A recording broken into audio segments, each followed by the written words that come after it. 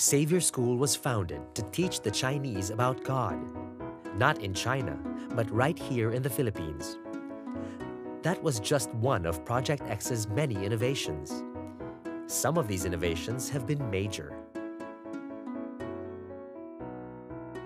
We were the first local Chinese school to have an English curriculum incorporating Chinese subjects, unlike the split curriculum still used by other Chinese schools today. To encourage students to speak English instead of Amoy, the first language of the Xaverians in the 50s, students were fined for not speaking English. At the end of every month, the money would be used to buy ice cream for the whole class.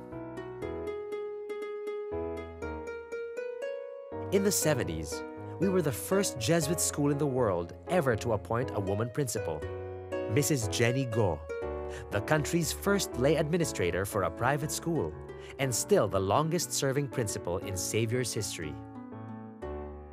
Here's a sneakier example. When Xavier was moving campuses from Echagüe to San Juan, each student was required to borrow six books from the library. That way, the school was able to transfer 6,000 books without a cent spent on shipment. And that's how Xavier Kuang-Chi moved from Echagüe to its present 7-hectare campus in Little Baguio, San Juan.